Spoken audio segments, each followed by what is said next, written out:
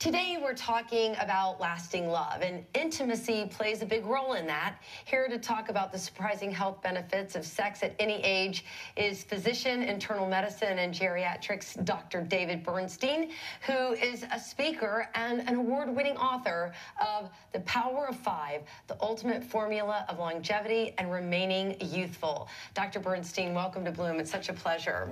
Thank you, Gayle. It's a pleasure to be here today. So, you wrote this book, and out of the five vital components, sex is one of them. Well, I wrapped in five things because there are five fingers on my hand and people can remember five things. So, avoiding and managing sweets, managing stress, getting more sleep, sweat, and sex. Okay, sleep, sweat, and sex were the last three. Yeah. And, and, sex is important because that's all about socialization and relationships and connections. And that's what rounds out the whole power of five because we want to love somebody, we want to care for someone and interact with them so that that makes us live longer and healthier and happier.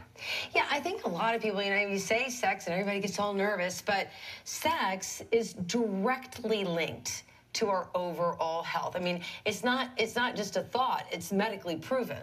Correct. And and that's why I couldn't help but include it in my formula. And and it's about that connection between people, that share or release of hormones, oxytocin, serotonin, dopamine that give us pleasure and connections that make us and help us live longer. And you're right, it's proven fact that people who have connections and relationships that are married live longer than those who aren't. Without a doubt. So now let's talk about sex at any age because a lot of people are the belief system that oh when i was young and we were this and we were that but really there's there's no expiration date when you're in a relationship absolutely right there there is no expiration date where connected for life and and that is a thing that makes us healthy.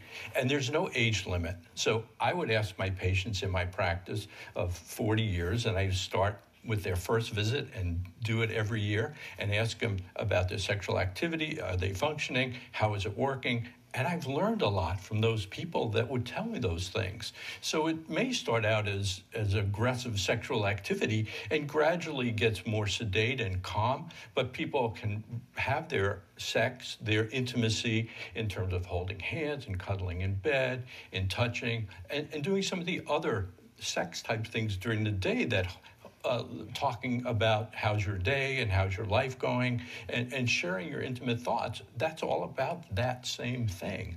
So it doesn't mean you always have to consummate. It means just different things to show love and express love in that arena.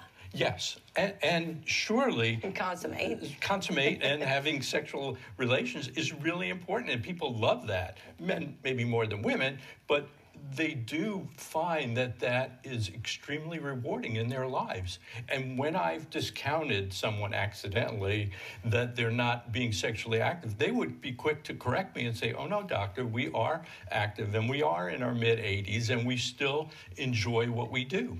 That's that's really incredible. So I think it's also um, very forward thinking of you as a doctor to bring this up because there might be medical reasons why people are no longer having sex that could easily be addressed. For women, it could be a hormone issue or a lack of testosterone or different things that could bring couples back together again. Because the whole theme of our show today is lasting love, and that plays into it. And asking the questions, both from the doctor standpoint and from the patient standpoint, asking a physician, do you have something that can help rekindle this relationship or help me um, be more active sexually? What are your expectations? Because I have no expectation that there's an expiration date on that kind of activity because I've heard about it from many of my patients. And, and I thought about it this morning that there was one particular woman um, who I knew well enough to joke with her, and I said to her during a visit, Well, you're not active anymore. And she said, Oh, no, doctor, I certainly am. And don't make that mistake again with anybody else. I love that. And you did say in, in, in uh, the beginning of this interview, you said, I've learned a lot. It, it, now we have just about just a few minutes, I mean, a few seconds left. You said you learned a lot. What is your biggest takeaway communicating with your patients and learning from them?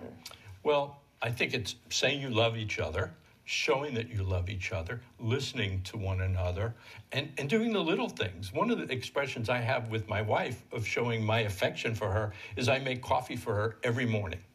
Uh, It's something that she could do, but I do it for her. And, and there was a couple that I took care of who were very late in life. They were in their late 80s and 90s, and both were having memory problems.